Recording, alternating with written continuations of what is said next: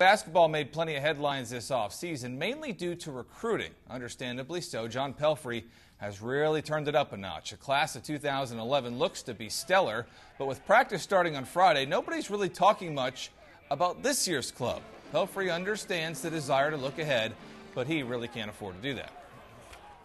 You know, you have recruiting as it takes on a life of its own. It's great for our fans. It's great for um, you guys, uh, you know, to talk about and stuff. And doesn't guarantee anything, uh, but usually the, the uh, you, you, can't do any of this stuff without without players. And and so hopefully that ends up where uh, we would all like for it too. And and uh, that'll be a discussion for a later date.